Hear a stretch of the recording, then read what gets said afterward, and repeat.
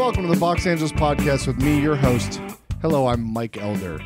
It means a lot that you're here listening to the show, and if you're new, it means even more to me. We got to do a little housekeeping really quick.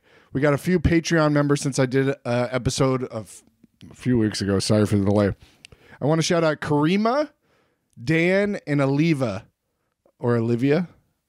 Fuck, it's probably Olivia. Karima, Dan, and Olivia. Thank you so much for being uh, subscribers on the Patreon. If you want a shout out, go subscribe to the Patreon. All the previous, like the first 300 episodes, all the audio is on there. So if you want to hear some of the old episodes, go take a look at the Patreon and support the show. The money doesn't mean much to me, but it helps. oh my goodness. Wow. Also, go to the YouTube channel, click subscribe there. I want 100,000 subscribers on my YouTube. There's tons of video clips, full episodes, a lot of good stuff up there. Go over there and click subscribe.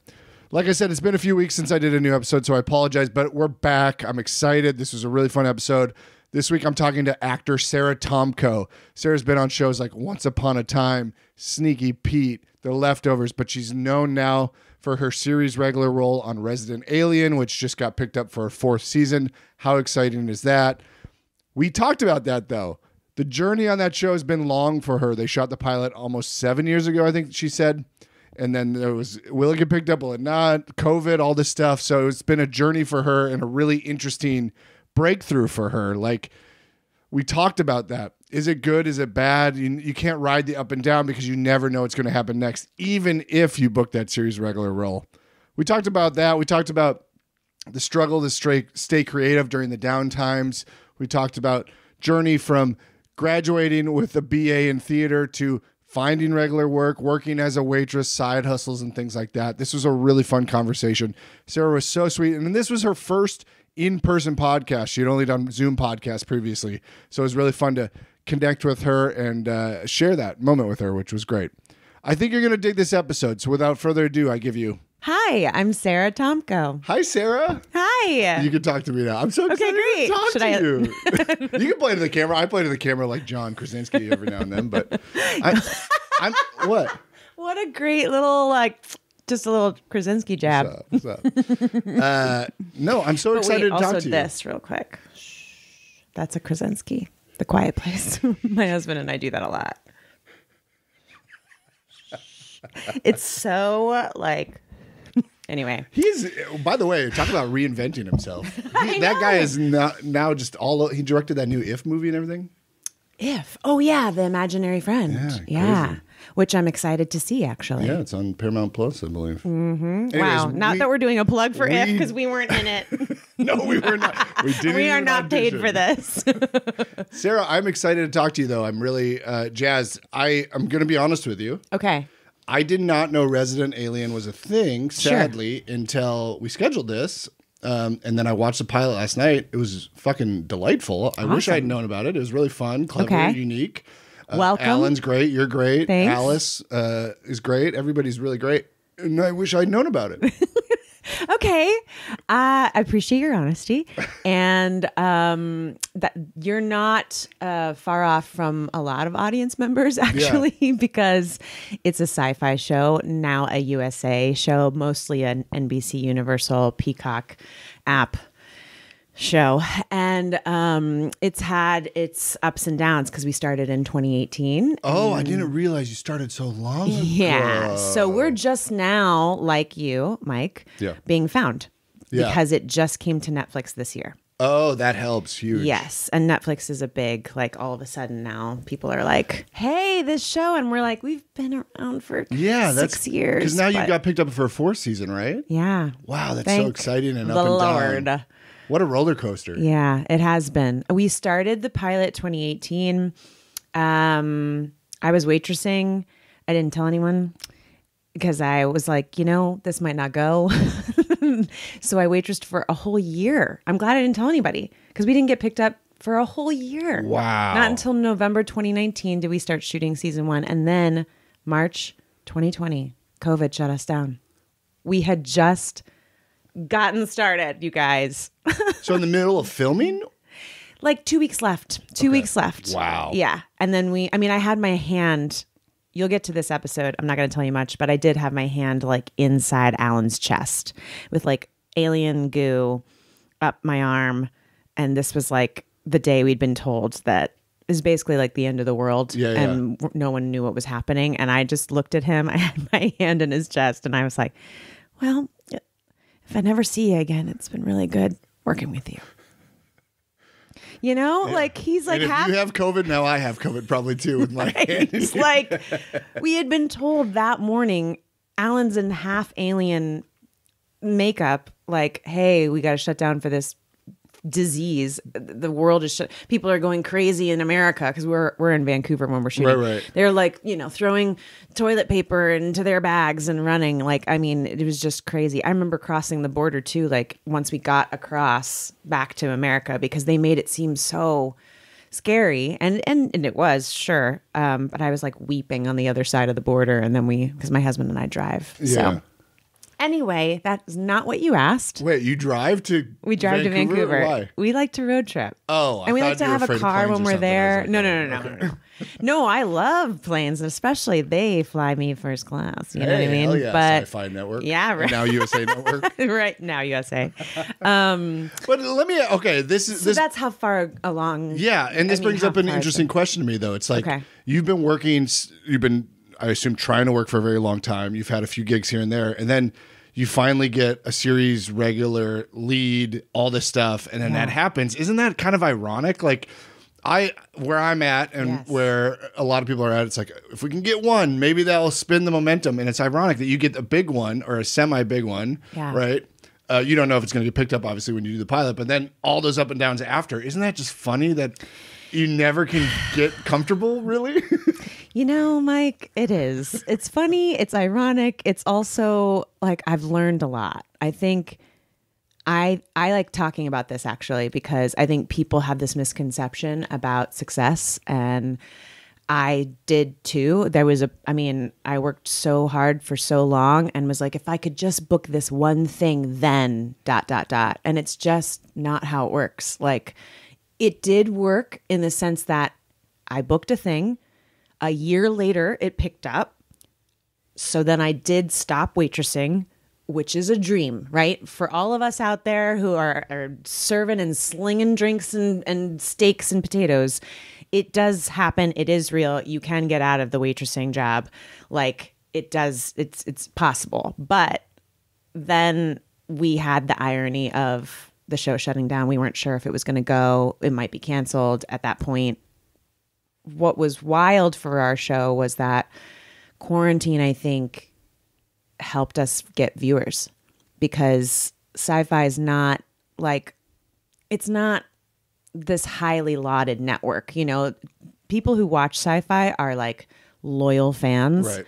Or they don't watch sci fi. It's one or the other. So we have these incredible fans who are so committed and loyal, but we have a lot of people who are like, no, thanks. I'm not watching it if it's on sci fi. Yeah. And so because of quarantine, more people were like, I need content. I need something. And they went through all of their normal networks and they were like, oh, Alan Tudyk, I think I remember him as the pirate. you know, like, I'll check it out, you know, like dodgeball. like, sure, he looks familiar. And then they tried it out. So we actually had like over a million viewers for season one oh, great. for a sci fi show, which was so we ended up becoming their number one show oh, I on, on their network. Yeah. But it still wasn't like then it's COVID, then it's like people are still trying to figure things out. Now we're doing season two in the middle of COVID. It takes longer to shoot it, longer to get to air it. Like by that time, people are still like, what's this show? And, you know, we were just like catching our stride at the beginning of this year when we aired season three, mm-hmm. and then they put it on Netflix. And then everybody was like, whoa, Resident Alien, like amazing, amazing, amazing. And we're like, yes, thank you. Hi, we've been here. Oh my God, nice to meet you. Like, yes, you know, but then we were like waiting until last month, which is like a long time to wait. Usually they tell you within a certain amount of time contractually there's like a like a rollover in terms of like you need to know by a certain time or the series regulars are let go of Yeah. and so the fact that they waited till June to let us know about season four, we were all like, is this it? Like, did we finish and that that's all it's gonna be? And that so I it's I'm glad we're talking about it only because it feels like um, this long-winded answer, which is how it feels in career Well- too. It's a long-winded success. Right, It's and I- like it's not. It's not like oh everything's better now. Everything's different. You know. I think it even more so is the idea that you can't tie yourself to the highs and the Mm-hmm. lows of this. You just have to remain or tr- try as best you can to remain even keeled throughout those things. Yeah. Yeah. Because even if you book a series regular row, there's going to be lows with that. Yes. And high. Like you just have to remain even keeled. Yeah, I mean, I think I did have a lot of lows for season one and two because it wasn't what I was promised. It was not the prince that was promised. It Tell me was more. like, it was, um, well, it being my first time being a series regular, I had to get out of my head and out of my own way Yeah. to not feel like I, you know, imposter syndrome, which I feel Right. like all artists feel at some point. And I was, you know, my counterpart was Alan, and he's like the ticket seller of the show. And not to say that I'm not equal to him, but in my mind in season one when I was there, I oh, really felt like, oh, I gotta I gotta show up, I gotta do my stuff, I gotta know what I'm doing. And it wasn't until the end of season one that I finally relaxed into like, oh, right, no, I worked for this. I was cast in this for a reason. I'm allowed to be here. I- This is, and it wasn't until about season two that I was really like, all right, but then it was COVID, which was Yeah. a completely different way of doing work. Yeah. So we haven't, as a show and as a cast, had any um, normalcy. Like, what's normal? I right. don't know what that is. I really don't. That's, I feel like, when it work, I, I don't know what it's like to work on a show that's normal. yeah, I feel like that's just the creative endeavor in general. And I Yeah. feel like you are, though, like to give you a high or maybe a positive spin, it's like, at least it's now found an audience while it's still available, right? Absolutely. Like there's all those iconic shows like Freaks and Geeks and stuff that got canceled before they got discovered. Yes. And it's not going to come back. You guys got discovered while you're still eligible. You're right. And are coming back, which is amazing. you're I right. think of all the, like the artists that died and then their work sold for like millions of dollars. It's like Mm-hmm. at least that didn't happen where it was canceled. And then you're like, oh no, now you. you know no, I mean? you're right. We actually thought about that too. We were like, this could be like a Schitt's Creek type of thing. Like they didn't get discovered Right, really yes. until season six, and then they were done. network, yeah. So, uh, which we were like, it would be cool if it's a Schitt's Creek type of thing because they got not only recognized but like very much beloved. You know, so Yeah. we were like, that would be an amazing thing to happen, even if it's at the last minute and we're done. And technically, maybe that like I'm not, you know trying to put any like bad juju on it, but we are contractually done. Like we have reached the seven year mark in Oh, TV land. Like, so if they want to continue past season four, they have to start new contracts. Oh, and we're in a time where like that's we don't know. So it could be that everyone's discovering it now and we will in fact be done after the season, but also it could be that we're just getting Just started. start, yeah. And I don't know which way it's going to go. So we're kind of all going into season 4 like it was really great working with you. It was really great knowing you. is- like this is- we, is- we don't know what it's going to be. I have a funny reference. I feel like you, do you know who Chappell Roan is? Like she's blowing up now. She's a musician, but she put out a song during COVID called Pink Pony Club. Okay. And it just got on the Billboard Hot 100 last week or something. Fuck yeah. And it's very similar to that. Like, Yes. it, I I love that. That's so great. But wait, let's double down on what you just talked about with the seven year contract thing and stuff. Are you guys theoretically then doing better because it was a network as far as like residual resids?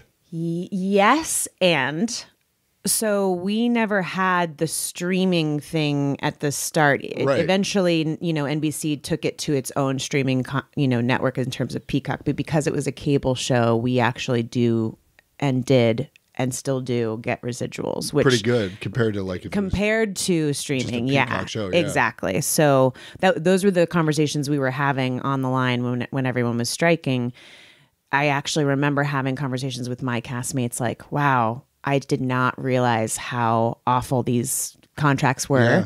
for residuals and i'm i feel very fortunate now because i am still getting a check every once in a while it's Right. not like it's um you know changing the game but it's enough to like pay my rent for one month Right. you know which helps keep you afloat Yeah. and that matters right now like there's we're all just trying to stay afloat. So Yeah. that in some ways there was these weird blessings we had. Quarantine was this weird blessing for our show. People discovered it when they normally wouldn't have. And then we because we were cable, Smaller we network, had yeah. smaller network stuff and we had the residual contract, you know, figured out. So we would still kind of get paid in that way. That's awesome and a great way to look at it. Yeah. But don't get too high Yeah. gonna. no, right. It's like a silver lining. I'm constantly doing that, Mike, man. I am constantly like, it's okay to be disappointed. It's okay that it wasn't what I thought it was, but it's also amazing and it's changed my life. And Yeah. I'm not a waitress anymore, but I actually like right now I'm babysitting again because like Oh. I need to make money and Right. I haven't made money in a year and a half. When do you start se- filming season four? we don't start till November. Okay, yeah. And I, I- won't get that check till December, J- January. Like who, you know what I mean? Like once they like get the ball rolling. And to relief is coming. I can't complain. I'm very grateful, but you know what I mean? Like no, I don't think still you're gotta. we don't think you're complaining, but I do. I do you. love. Like, I love that you're admitting that you're babysitting, right? Like, I I'm think babysitting. I'm making earrings. I'm like Oh kind of on the grind right now. kind of an uh, entrepreneur, well, that's always how I was multi hyphenate. Yeah, right. that is like what an artist is, though, right? Like we have to just embrace that we're like more than one Yeah. thing. You can't put us in a box, okay? Not one box anyway, maybe multiple boxes. Um, Um, I always sorry to interrupt you. I always think of No, Jenny no. Pearson. Jenny Pearson is a comedian, UCB girl. I had her on a long time ago, and she got a series regular on an NBC show. Quit her like secretary job. It went one season, canceled sadly, and then she went back to the job and was like, "Fuck this! It's normal. It's calm, and this is what I have to do." And I was Yes. like, "Yes, absolutely. That's fine." I that's like when people ask me like what advice would you give like someone who's trying to get into the business? I'm like get a good day job. yeah. Get a day job you like. Get something that like makes you feel good that you're good at. I was good at waitressing. I'm a multitasker. Like I don't want to be behind a desk. I don't want to sell a product over a phone. Like I mm. can definitely like make you feel better though if you want to come in and sit at my table and I can like you know help you get a meal. Like I was good at that. So I got to a place. There was definitely a moment in my waitressing career where I was like so resentful and was like, "This is never going to happen. I'm never going to make it." And then I don't know what it was, but I definitely pivoted into, "Wait, wait, wait, wait, wait. This is the career. The career is me paying my rent and auditioning. That's the career. Yeah. The bonus is the work." Yes. when you book it. I the agree. career is making money that has nothing to do with your art so that you don't stress about making money with your art. yes. That's the career. That's a good soundbite. I agree with that 100% because, like, then you are so stressed out while you're trying to do something that you enjoy. and Yes. It just ruin it, corrupts it uh, in, in to some degree. I'm actually, I was just talking about this with my therapist. I am now doing in this weird place of I'm not, okay, so I'm going to get season four, yes, but because it's been a year and a half since I've really made any income, I am like, do I take my art? I know I have fans. Is this uh, something you capitalize on, not on purpose, but like, Conventions and stuff, you mean? yeah, like conventions. And so I'm actually going to do my first convention at the end of August, Oh, Dragon. Con in Atlanta, which I'm excited about. But I didn't, I never did that before because I didn't really have a much of a following and I I don't know what it's like to really have fans. Like Yeah. so now that I sort of do, it feels weird. You're like, "Oh, oh, you can charge to take a photo with me?" Like I don't want to do that, but I also am like I need to live. Like so there's this weird thing too of like at what point are do you feel okay being an artist and making money as an artist, but it's still being something that you are capitalizing on. You should totally feel fine with that. I mean, I don't know. It's weird. Like I You want see how many celebrities sell credit cards and they should feel horrible about that, but they Right. don't at all, and they're just pushing credit card You're debt right. for You're big right. banks on Yes, you're right. people. Fuck all those celebrities. Yeah, you're right. I hate that. No, I, Side rant. it's a weird. I'm sure there are people listening that understand. It's this weird thing of like you want to be an artist and you want to just connect to people in that way, but what is it? What what does that amount to, and what does that mean in terms of cost? right. you know cost of living but also like cost of your soul like Sure. you know it's so it's this weird balance of like now i'm making earrings and i sell them on my etsy but i know that a lot of people who buy them are fans and so it's a nice opportunity for me for me to say hey i'll make you a custom pair of earrings and i'll also thank you for being a fan and we have this nice little back and forth Yeah. you know what i mean but it's not like i still feel like it's a nice What'd like your give and therapist say? take. What'd your therapist say? she she was basically like you need to embrace like the position that you're in Yeah, and and you know I think you're overthinking it. I, I think you're right. I think we just met and you've already like learned a lot about me. I'm just uh, very uh, high EQ. You know what I mean? I, Yeah, yeah. I know what's happening. yeah, you do. Do you do you think you're that? up there with the vibrations. Thank you. Mm-hmm. Do you think that? Um, and and uh, this, I do not mean this as a knock at all. If it comes across as a knock, but do you think? Are you glad that you found success later in life? And I I ask that because I feel like. Come, this is all these questions come from my selfish, uh, you know, need for whatever. I I hold on to the hope of like Ray Romano and Yeah. and Tim Allen, but even Tim Allen, I think I'm older than Tim Allen now. But Ray Romano got his sitcom when he was like 50 or whatever, right? Yeah, yeah. And I'm like, okay, I got time, I got time. Yeah. And you're, I think we're similar age, and you and you got Resident Alien. Actually, pretty young if it was seven years ago, I guess. But, Right. But it, later in the thir- mid 30s, I I'm guess. still 18. What do you mean, Mike? you were born after 9 11. But are you glad you got you found it a little later and not fresh out of college? No, or yeah, no, no, no. If I had found it fresh out of college, I would be a different person. I probably would be like somewhere else entirely. I don't even know if I would still be in the business because I would have lost myself. I needed time to like figure out who I was, what I stood for, and then I needed to be able to to land my first big role as something that really I resonated with um, on a emotional, energetic level, and I wouldn't have had that in my twenties. I just wouldn't have. But at the same time, I kind of I don't know if I willed this or manifested it for myself, but I went into the whole Hollywood of it all knowing it was going to take a long time. Like I went in being like I showed up to LA in 2007 and I would like regularly look at celebrities that I liked or you know admired and I would look at the moment on their IMDb that they like kind of got on the map Yeah. and then how long it took them to like get on the map. Right. You know? And for almost every single one of them, it was 10 years. 10 years between the first and the Yes. first gig and really yes. interesting. Before they really were like kind of known. Yeah. You know? And even then, it was like, how many more years before they were like in Game of Thrones or like in whatever's the hot thing right now, right? Like it's, or, or that they're really a household name. Like if you think about Emma Stone, right? Like she started with Easy A and it took her 10 years just to get to a place where people were like, I know Emma Stone. I Yeah. know that name. Now, what is it, five to 10 years later? She's just now getting Oscar recognition. And it's not to say like, oh, poor Emma Stone. It's like she's, No, yeah, you a- know what I mean? though, yeah. it's this, right. I think people, I, I say it because I think people think when you get here, it's just going to happen overnight. And I remember when I first moved here, so many people like moving away after three years, like five years was their max if they didn't have a certain amount of time. And I just was like, no, no, no, no. It's like lifelong. This is a this is the career. And I'm like, I if I have to Glenn Close it and, you know, find something later on in my life, or Morgan Freeman, which he was like 45 or something when he did Shawshank. And Oh, then interesting. yeah, and he's and but you think Morgan's been around a long Yeah. time, but when you look back, like he really and he probably has. He was probably doing all kinds of stuff in his 20s and 30s we don't know anything about. But he wasn't on screen. We Right. didn't know him as Morgan Freeman until later in his life.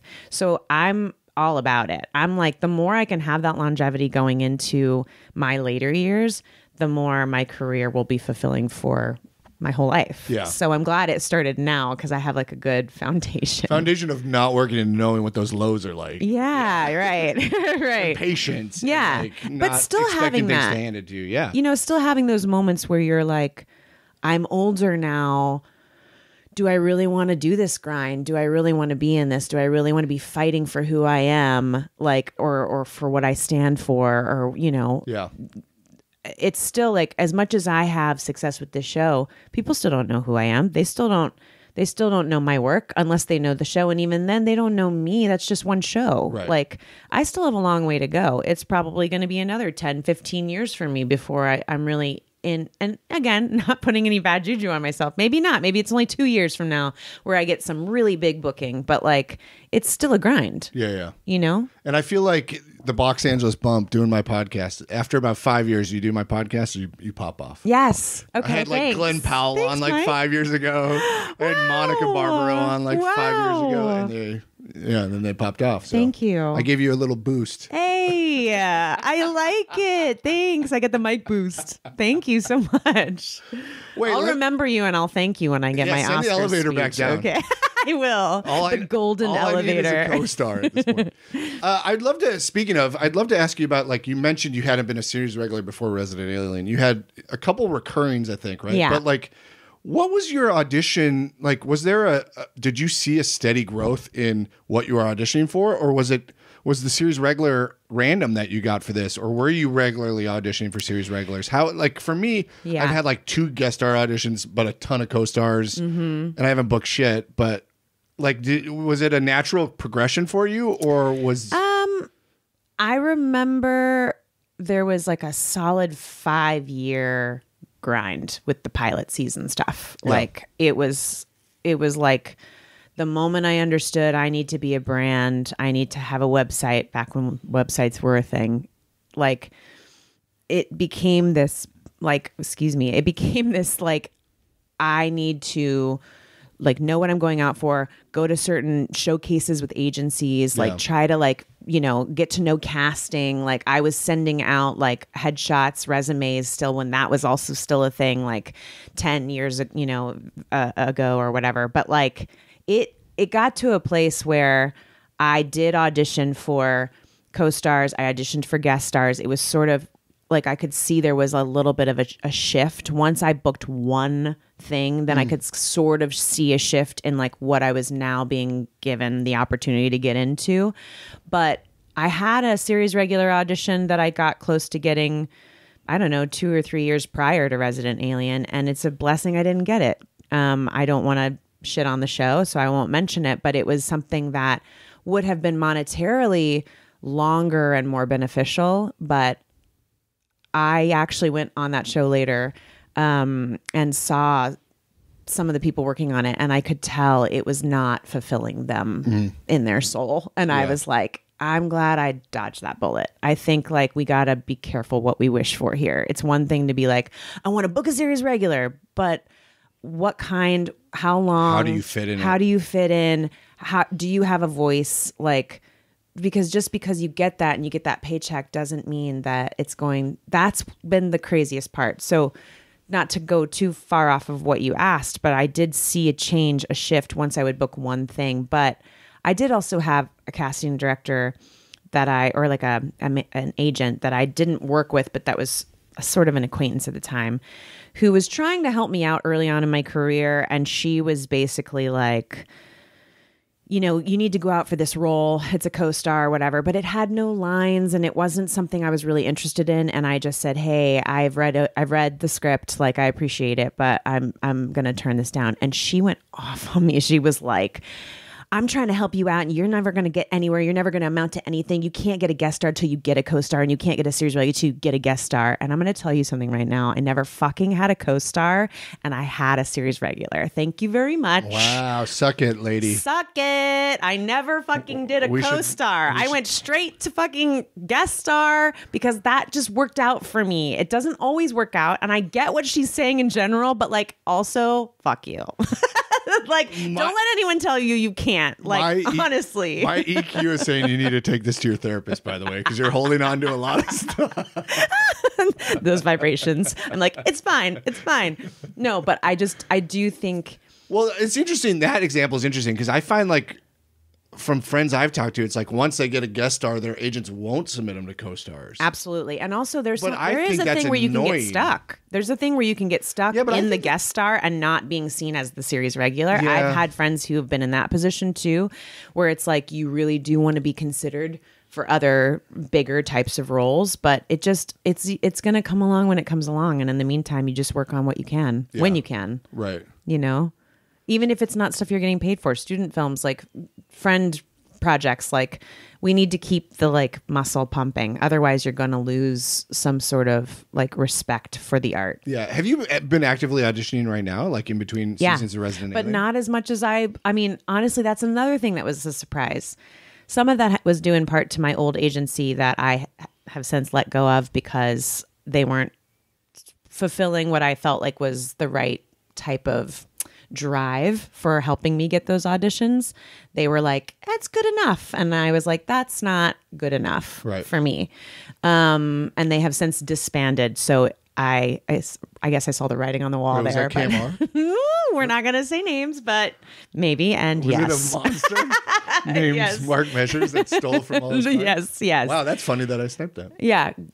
That's your EQ. That's my. I keep hitting your. It. If I, is this You're gonna, fine. Okay, great. You can move it slightly if you need to. You don't have to. You, No, you can I just touch it if talk a you- lot with You can touch it if you need to touch it. Mike, this is becoming a different it's podcast. not a hot potato. oh my god! There's video. Calm down. Jesus. My husband's going to be watching this. um, what is, wait, what was the question? Uh, it was talking about guest star uh, auditioning backwards. And uh, yes. But then you just asked something else. Wait, wait, wait, wait. Where, where, where were we at? You, we were talking about your agent left you. Oh, yeah, yeah, Oh, yeah. auditioning now. Yes, I was surprised. I thought this is another like thing that you think like, oh, I'm going to book and then it will be like this domino effect, absolutely. and it, and it wasn't. no. I booked. Once you get a series regular, there's a little bit of like a blessing and a curse that comes with that because, like you said, once you go to guest star, you're not going to go out for co-star anymore. Which I disagree with personally, but I don't. What the fuck do I know? You know, uh, I think there's something to being relevant and being need To be active. seen. The problem is if you're only seen as a co-star, then they'll treat you as a co-star.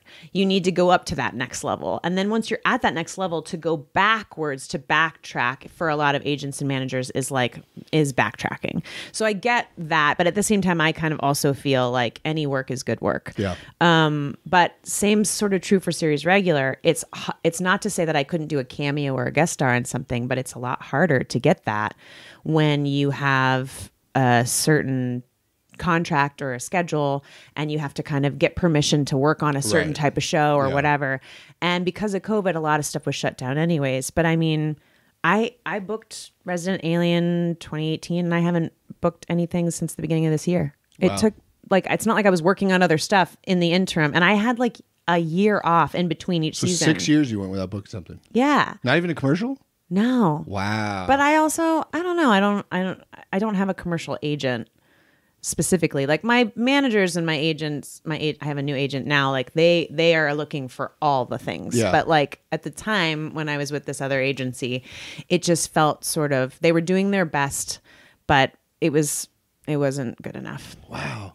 Yeah. See, to me, I find that so fascinating. Like, it seems like people get pigeonholed. Like, I go out so much commercially, but not as much theatrically. And I feel like a lot of theatrical people I talk to don't go out much commercially. And I'm like, that's so weird. It's a different realm, I feel like. I remember is, going but- out for commercials like earlier in my career. I the same thing w- with certain I don't know. I just I remember going to a commercial audition and they were like show me your hands and I was like uh like That's hilarious. I didn't know what that meant. don't you have and a I BFA? No, uh, you like don't have a BFA? no. What did you graduate with? I thought I read you graduated with a BFA. Oh, well, yes. I guess. Wait, what's a BFA? Bachelor of Uh-oh. Fine Arts? Oh yeah, yeah, yeah. Okay. I'm not used don't have a. BFA. Oh You God, no, I don't. No. Um, They don't teach you how to show your hands in a BFA program? See, that's so No. interesting. Do you? I didn't do commer No, that's what I mean. Also, it's funny because it was a Bachelor of Arts. I, I BFA. It wasn't fine arts. It was just. BA. Like Got it was a BA in, theater theater, and dance, Got right? Okay. That was what it was called. That's why I was like, "What's a BFA? Big fucking art deal." Okay. It's a different Um, podcast. no, I went to school for musical theater. I see. Okay. It was a completely different program. and even if you had done film or television there, we had just gotten started with a film television department at that time in in my college career and so they were just like starting to figure out what kind of classes to give students like we my university wasn't known for like go here for art Yeah. you know it just happened to be a great musical theater and dance school Got it. Okay. Yeah. Okay.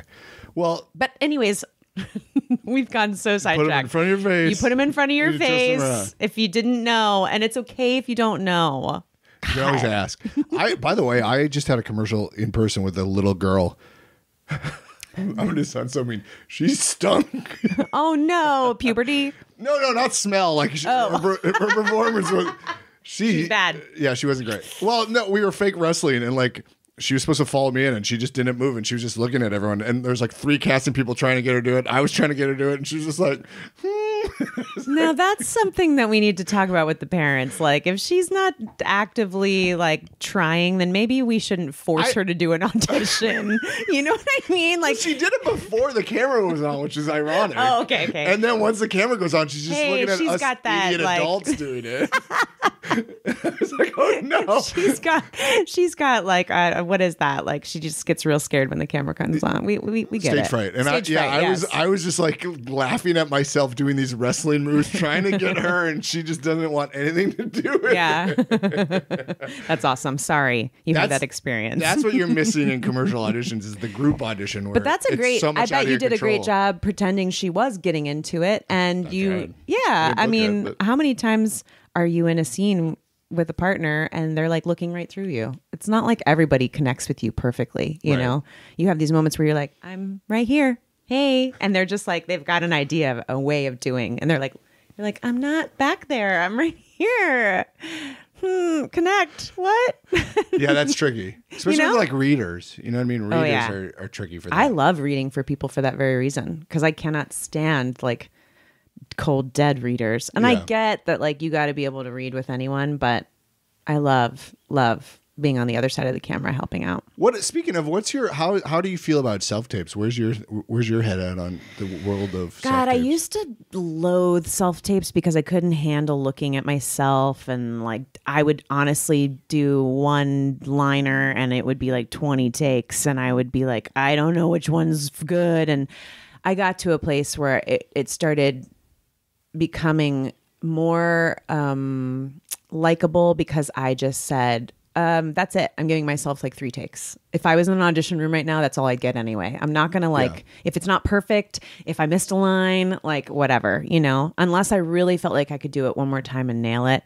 Um, I got to a place where I just sort of let go of how I looked. And um, one of my first bookings off self tape was Sneaky Pete. And Oh wow. I actually happened to stumble on that. I don't keep all my self tapes, but I happened to stumble on like an actor folder I had in my computer, and I somehow still had that self tape. And I watched it back, and I was like, "That's a strong audition." I was really proud of myself. I'm like, "Thanks for booking," because that I should have, you know. But it doesn't always work like that, Yeah. and so I feel in terms of, I miss being in the room with people. I miss that. I do miss the feeling of walking in and being like, "Hey." Katie, how are you today? Okay, I'll stand here. Sure. My And name's then they- Mike. You got my name wrong. You're you don't get it. You're fired. Um, Yeah, I miss it because they make or break that sense of like, oh, this is real. It's happening. For self tape, for me, I feel like well, there's a little fight. Sorry, there's a little like No, no. performance like st- stepping on a stage that gets under Yes. you in that room. Whereas Yes. the self tape when you're doing it here against a wall, it's like yes, it's, there's a coldness to and it. also you have an amped. you have an opportunity as an actor when you're in the room to be directed. Which we all want and love to be directed. Please direct us. We are actors. Yeah. And um, you don't get that on self tape. But it doesn't mean I haven't booked off self tape, so it's not awful. It's just I do miss being in the room, but it's not even an option anymore. Now they're giving you Zoom audition options, but it's not like being in the room is like a thing. Yeah. At least I don't know. I haven't been invited back into a room since 2018. do you do you pay to do self tapes or anything, or are you just all by yourself? Do you coach or anything? No, no, them? I do it myself. My husband's a director, filmmaker, acting coach. So, So I, I have an in-house, yes, coach nice. reader, On which is retainer. nice. Yeah. Oh yeah, it's nice. That's why I married him.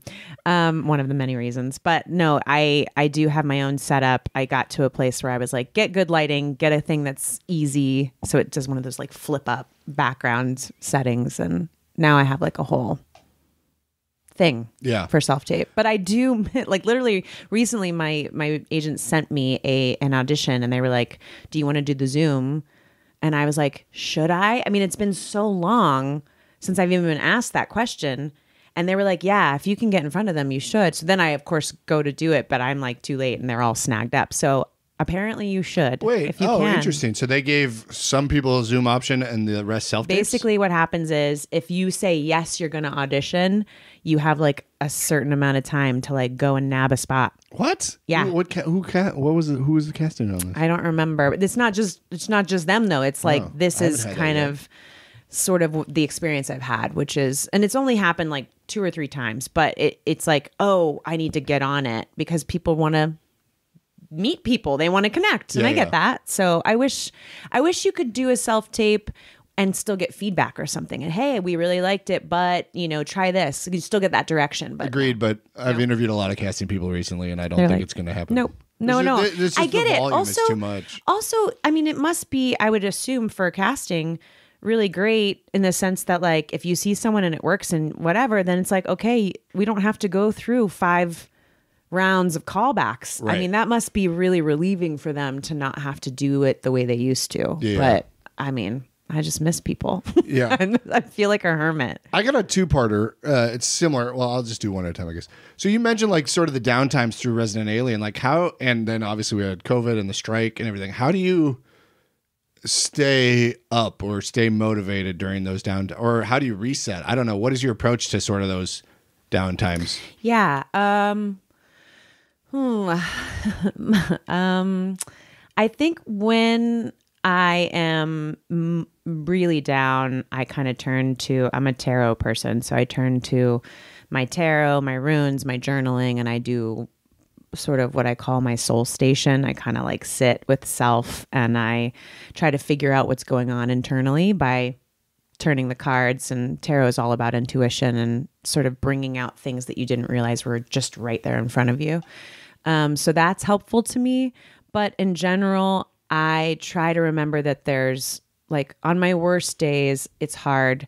I'll probably just have a good cry eat a donut and watch lost you know like uh, something that's familiar and that i don't have to think about you know. But on my best days i try to remember like that is part of the career it is an ebb and a flow. We're just this giant ocean and we're all these little fish swimming in it. And sometimes we catch a wave and sometimes we don't. And sometimes we're floating on top of the surface enjoying the sun and sometimes we're drowning. And the island is right there and you can see it and you can taste it, but you can't get on it. Like that is the career. That felt like a lost reference. I've been watching a lot of episodes. I've seen it already, but I am actually watching reruns. I'm excited. It's it's now on Netflix. Well, well, the second part of that was like, how do you, I guess, stay? Are you are you are you doing anything to stay top of mind with like casting? Are you sending anything out? Are you are you actively shooting anything yourself? Yeah, Are I you memean, I talked to doing any creative things outside. Yeah. I mean, other than like the earrings and things. But Yeah, like, yeah. Industry related Um, stuff. Like I just filmed our mutual friend Carrie. I just filmed a scene for our reel together, me and her. Just Nice. like I'm sitting here. Why not? Let's do it. Yes. So I've done that a couple times in the last couple months. It's like just doing things like that. Anything I like that. I have been I, I a friend of mine reached out and I did like one day on his indie film at the top of the year. Then another acquaintance of my husband and I's was working on a film and we all agreed like let's work on this together. So TJ played the villain and I played the Oracle and it was this really cool in, independent fantasy film. So I'm I'm keeping active with my community. I'm also taking class again, which has been Oh, really yeah, great. Yeah, yeah, love that. Um, what class? it's a Chekhov study uh, with a, a woman named Mariorika Michaela, and she's incredible. If you have a chance to study with her, if you live here, um, she is an amazing Chekhov technique artist. And um, I had never, I'd studied Chekhov like like I read books in college, but I had never actually like studied that technique like in the body. So that's been really nice. But also just to dive back into like remembering I'm a thespian, like, and I want to like do scene study and try things and like not just get into one way. I think sometimes when you book, I've seen a lot of people who have success and they're bored, they're not being directed, and they're not being told no. And like they need to dive back in. Like, remember that there's things that you can challenge yourself with. There's all kinds of different types of acting and performance art that you can get into. So I'm taking class again. I'm also working on like my musical theater reel, like I I or my musical reel as I'm calling it because I'm a singer, but nobody really knows. So Yeah. I'm working on that so I can give that to my agents and manager and go, "Hey, this is an option." I'm, you know, let, allowing myself to be local hire, which not everybody's cool with, but I'm like, "Hey, if I can work on it, then I'll fly myself to New York. It's fine." You know, like I think there's this idea that once you get to a certain place, you shouldn't have to spend money on this or that, and it's like that's not how it works. Until you're the 1% of anything. like it's just not how it works. Yeah. So I'm not doing anything directly related to casting. It's not like I'm contacting casting and being like, "Hey, remember me?" But I have given my managers and agents a list of people that I know that I've worked with before, directors, casting that I had a great session with, and reminding them, hey, if this comes up, if this person shows up, like letting your people know who know you. Yeah. Because they always say like it's who it's all about who you know. And I'm like, bullshit, it's all about who knows you. Yeah. Like, do you remember me when, when I did this audition 10 years ago? Probably not, but I remember you because you said this thing to me. And then they're like, what? Get in here. Yeah. you know? It's that kind of networking that that makes a difference. But I'm trying to do that when, when I can. I love that. I, I, I- I just, I think a lot of this stuff is such, uh, uh, I, I don't want to say low hanging fruit, but it's an easy win. Like I just took a class that was an audition class, Robert D'Avanzo, and it was like he didn't assign the stuff beforehand. You got it in the middle of the class. You got like 45 minutes, mm-hmm. and then you had to run it. And like every week, I was 99% off book. Yeah. And it was such like a little ego boost every week that I could get something new and like do good with it every week. And like, Yeah. just doing things like that are such small wins, and it's important to keep sort of that mo- filming a real scene or whatever. Yeah, well, also like the reaching out to memorization technique is incredible for your brain and your muscles, and it's going to be so much better for you in general if someone hands you something. It's even like on t- uh, in TV, there will be rewrites that Right, right. happen in the moment, and if you have better skill set of like memorizing quick and on the spot and getting it in your body, like that's a great skill set to have, and to be able to do that. I just feel like that's something you can be working on. You know, other tool that's a, like that's like tools and techniques to to have. But having a friend you read a play with, just cause, like get together and read plays. Like I don't know, keep the keep the dream alive. You know, like act like it's college, even though it ain't college anymore. We all used That's to remember exactly that. it. No, that's you know, really we would like read is- plays and go to the quad, and we would talk about things and we like, very different college experience. okay, what did you do? I studied engineering. so- Oh, okay, okay, okay. That's I was like, you were like, let's make things with our hands. Triangles. That's cool too. Hammer. so boring. I did not go to the quad and sing musicals. I wish I did. That sounds delightful. But I, you're right. It's like extra credit, right? It's like you don't have to theoretically do this, but it helps and it, it's good. It and does. It, keeps also, your head right. Doing all kinds of like my my best friend's learning Japanese right now. Why? Because she went to Japan last summer and she wanted to be able to communicate, but also she's continuing to learn. Yeah. And she literally just ran into someone at a store and and they ended up having a conversation Oh, cool. and she just she just was like maybe this will who knows there's no reason that she would ever necessarily play someone who is Japanese because Right. she's white, but maybe she would need to play a role where she needs to know Yeah. Japanese. Domo origato. Yeah, exactly. So I don't know. I just feel like I, I don't learn. Be a student. No, I, it's a great point, and like I, I even think your earrings are something. There's something to be said about just that creative energy. I interviewed Yes, George Basil, using your hands. George Basil a couple months ago, and he was like, "I'm a tinkerer. I like to build, and that's just creates my tinkering with a lawnmower or Mm-hmm. I love whatever." that name, George Basil. George Basil. Okay. Do you know George Basil? No, He was on like Wrecked. He was in Barbie. He was this very small role in Barbie. I probably know his face. I'm so much better with faces. Than He's, names. he's got long hair and he's a hippie kind of. okay, great. He's an improv guy. It's You a great name. him. Uh, yeah. Oh, I just messed this up worse. Uh, yeah, I think it's all good. Like, it's just. Did you read the Rick Rubin book Uh, about like creative and creativity and how we're all creative and we just there's creativity floating around and we just got to grab it when it comes to us and Mm-hmm. and and put out what what we're feeling or whatever. No, I, I've not read that house. book, but I have heard of like um, the concept of what you were EQ, the vibrations, the frequencies. This concept of like it's all up here. It's just who's listening and who plucks Who it. plucks it? Yeah, Yeah. exactly. Very similar. Yeah. So- And and that, that multiple p- people pluck it at different times, but who's willing to do something with it? Who's willing to take it to the next step? Because it's not just about.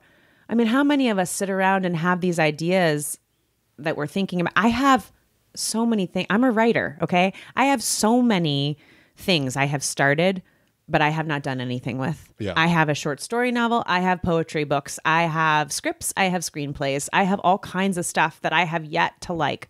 I'm working on a pilot right now. Like I have things, but until I get that next incentive to like put it into motion, it's just sitting there on my screen. Like, thank you. I'm giving you, some me the vibes? vibrations You get me one of those done. Get that short Hey, story novel. If I get the whatever. pilot going, I'm going to cast you in it. Oh my I- god! you heard it here first. All right, There you go. Then then we'll be giving back to one another. I booked something. I'm so happy. I'm so happy. I'm sure I'll get cut. no, no, uh, n- never. Speaking of like you, j- writing is part of that too. Like, do you have sort of, and I, nobody really does, and I, this is just me asking because I'm type A. But do you Nobody like really does. I don't know Well, what you're going to say. do you have like time? Do you do you manage your time at all? Do you like try to budget certain amount of like personal time versus work work time versus creative time? I just had this conversation with TJ because he um, needs to manage his time in a way that he doesn't get overwhelmed. And we were talking about how, like, when you have to work for yourself, it can be really hard. Like, he's editing and right now so it's like we agreed how about we do the canadian way monday through friday you work eight hours Isn't that everywhere? no, oh, I mean, sure, everywhere in other jobs, but I mean, in acting world, we work every day, all day, twenty four hours, right? Um, but I was like, in in the in Vancouver, it's like these are your set hours on set. It's like a nine to five job, and then Yeah. you have weekends off or whatever. So we talked about managing that time for him. That way, he had like even if from one to nine, you like are playing Madden you are thinking about your scripts you're doing whatever you want i don't care what you're doing but you're you're designating time for yourself to like do what it is you feel Yeah. like you need to be doing right now so i i don't necessarily make that much of a schedule for myself but i do recognize that i need to like sit down and think about things. And i have a friend who we're, we're going to start having accountability dates where where we're like hey let's meet up and have some coffee and bring our laptops. And it's just going to be focused two hours of like writing and getting the next thing moving you know? Where it's like sometimes you just need to have people who you sit next to who are like yes what are you working what are you and it's not necessarily about even collaborating so much as it is like make me do it sit down and and and I don't I don't have focused scheduled time but I schedule I do love a schedule and I do like to schedule things, but I'm not always like guitar lessons at one and, you know, earring making at three and writing my script at five. Although it probably would serve me a little better if I did that. I'm giving you so much of therapy. Well, I ask because like I wrestle with this. I think every creative person wrestles with this. I have all this treasure trove of content on my computer of videos after hours and hours of video, and it's like, oh, I quote unquote should be making that into social media clips and putting that out there. And Yeah. that should voice in the back of our head. You're shooting all over like, yourself. You're you're struggling with it. Yeah, you're like shooting all over yourself. You're And shooting it's like everywhere. no, I shouldn't always. Rest is important. Relaxation is important, and I need to. So I find like whenever I do a new podcast, it's like Sunday morning I edit it, and then Monday night I edit the clips, type of thing. And then I'm You have a routine. Yeah, I try to put a routine around it, so That's then great. I'm not Tuesday night when I'm being lazy eating pizza rolls, watching Lost. Resident Alien. Hey, Uh, I don't feel guilty in that should I'm not shooting myself as hard as I I. Here's could. what I think. I just had this conversation with a friend who was also stressed out about time management. And I think we are these fragile, sweet baby human beings that Speak for yourself. should, I'm a bad boy.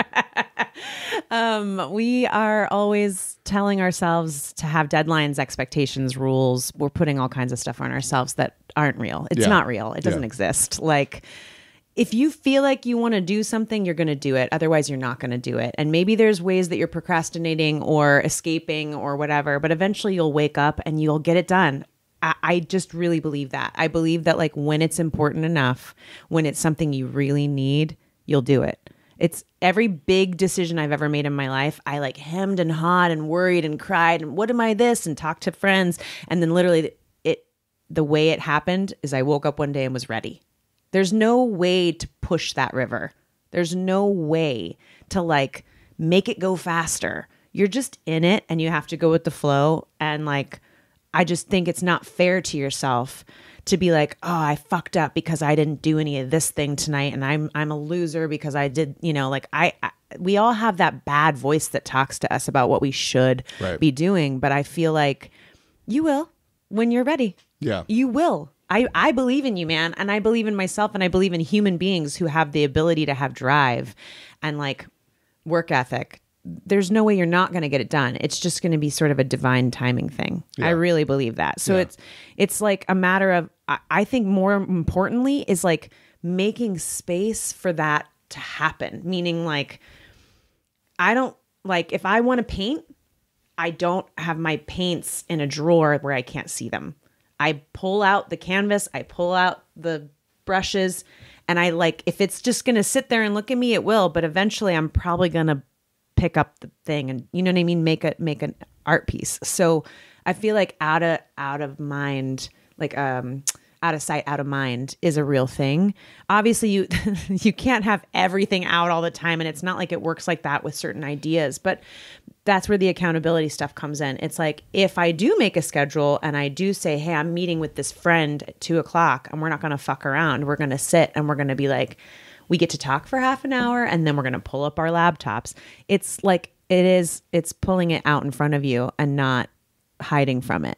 But I just, I don't know. You'll do it when you're ready and when the time is right. And if that time's not until you're like 55, Mike, it's okay. Well, there's also you actually kind of just hit. Uh, thank you. You also kind of just hit the Rick Rubin book. It's like there's going to be an inspiration that pushes that creativity to you, or pain That obviously we like we make tons of art from pain but like i think sometimes there's this feeling that everything has to be perfect and just right and like some of the most inspired times are the times i've been through shit yeah. and then all of a sudden i'm like i'm angry i'm gonna pull out my charcoal and like you know and then all of a sudden i'm like wow that's beautiful I love that the the pain was the charcoal. The charcoal feels like a pain. It did. when I got my Uh, divorce, device. I, I was married before I, I'm married now, but uh, before that I had a husband and um he I just had that happen. Like right as we were like finishing our relationship, I had this vision. He was like turned away from me. And I don't know. I don't know if you've ever seen Great Great Expectations, but he like furiously charcoals Gwyneth Pal- Paltrow, Ethan Hawke's character. He like furiously like he's like so obsessed. And I saw him and I saw our whole relationship falling apart, and all I wanted to do was charcoal in that moment. Wow. I'd never been a charcoal artist in my life, Mike, and all of a sudden I went out and bought charcoal and was just charcoaling his his fucking body and like everything because I was like, it's over. but I don't know. I got some really cool pieces. I wouldn't even know where to buy charcoal. I would go to like the grocery store and get some like Kingsford char- charcoal bricks. There's really great art stores. Um, Michaels, named after me. yeah, Michaels. There you go. Uh, we're almost to an hour. I have one last question. Um, who took a chance on you? I like to ask people that as the last question. That's a great question. I think so. Thank you. My, I immediately know my first manager. Um, I had remember when when I was saying you had to build a website back then. I had built a website, and my um, my first two managers ever were these this couple named Shane and Candy Freeman, and they just found me. I think they were trying to. They were in Atlanta and they were trying to build their own um, you know, started to build from the ground up. They were looking for talent. So they were kind of seeking things out. I don't know how they stumbled on my website, but they did. They contacted me. It was one of those situations where I was like, is this Sus. real? Yeah. But after having conversations with them and then meeting them in person, it was obvious that they were just hard workers who were trying to build something over in Atlanta, but they wanted to have LA talent. And um, they eventually introduced me to my my first like big time manager, Zach James, and he Wait, they were a manager that introduced you to yeah because manager? they ended up they ended up trying and it not working out for Ah. them. They had a lot going on. They they really were just they were such amazing people with strong work ethic and they wanted to make this company happen and they had a few clients but then they basically said to me like it was kind of a, a beautiful thing because they were like we're you're you're trying to make your way up we're trying to make our way up maybe we can help each other and i was just like that's cool but they did introduce me they got me my first um, abc showcase which introduced me to zach and zach is the reason i got the Resident Alien audition. So Wow. it's like the, all of that. It was 10 years later. Yeah. But Zach, I would say between Shane and Candy and then them introducing me to Zach, who really believed in me, like never made me do anything I didn't want to do. Like always, I was I was able to talk to him. I was able to tell him what I wanted, and he was always so supportive and a, an amazing mentor. Um, he was on my side, and like in the end, he ended up. He's now a surf instructor who makes like furniture. Yeah, he's like not even in it anymore, but he is still a good friend. He is um, a mentor to me always, and I will never forget him. Like you know, really having my back in a time that I didn't have anybody. Yeah. like you know. I, so I'd say, I'd say collectively, those three people were like the impetus. I love that, but the common theme is you just running through representation. You just mow them down. I'm like, get out of my way if you can't give me something I need. Good for you, though. Most No. people can't can't get anyone to talk to them. And you're just like knocking them down one by one. Now, wait a second. Shane and Candy found me. Then they introduced me to Zach. Zach introduced me to who I'm with still, Bohemia, who I love. And then Bohemia introduced me to KMR, and then KMR didn't work out. So I actually okay, haven't been that through much. that Okay, many. okay, yeah. Um, I've stayed loyal to Bohemia all this time, and thanks to Zach. And now I'm wor- with Prototype, which is a new agency. We just started working together two months ago. It's a budding, forming honeymoon style relationship, and we're we're in love. we'll see. Hopefully, I won't mow through them. Oh, this just in. They are out of business. no, no, they're amazing. They actually came in after some of those other agencies disbanded and they were like, we want to do this different. We want to have, we want to be agents with bedside manner. oh, that's cool. Yeah. Which is not necessarily what you get with agents. Normally No. they're like, hey, that's not what we do. That's managers. But they are wonderful people. And already I'm so happy. And they've oh, gotten me some great auditions like right off the bat. Oh, I love that. That's beautiful. Yeah. Happy. Very cool. Well, this was a delight. Did you have fun? I had so much oh fun. gosh. I want to tell you, this is my first ever podcast like this What do you mean in person? in person. That's With crazy. the microphone and like on the couch. I see it happen all the time. I'm like, man, one day I'll get to do that. But all my podcasts that I've done have been over Zoom. Yeah, I hate Zoom. Like quarantine it's, world. It's not fun. Yeah. like it's not personal. No. I'm, you're not gonna read. It's like it's like self tapes. It's like Yeah, you're not in the room. You're not exactly. vibing off the other person. Yeah. So I appreciate you popping my official podcast cherry. I refuse to do Zoom. on Box Angeles. Well, thanks for doing it. It was swell. It's nice I'd love to, to, come you. back sometime too. This was fun. Okay, I'll have you back. How's Maybe. Ne- how's next week? Great. Sounds good. If I can find parking. okay, you got a you got a tail slate here. This was Sara Tomko, and thanks for watching. MTV and the Channel E. A thing for celebrity. Okay. Uh, I appreciate your honesty.